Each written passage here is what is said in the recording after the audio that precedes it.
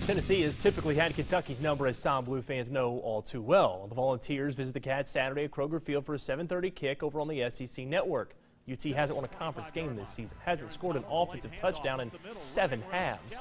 The Vols are hurting bad after yet another beatdown served up latest by Alabama. So, how does Mark Stoops assess what he'll be up against this weekend? We know what Tennessee can do. I know the way people pile on people when they're not doing so well. I know how that goes. I've been there, and uh, we can't control any of that. We got to control how we're going to play. I expect Tennessee to come in and play exceptionally hard, just like they did this past week against the exceptional Alabama team. So, uh, you know, we expect them to come in with great pride and, and play very well, much like we did a year ago.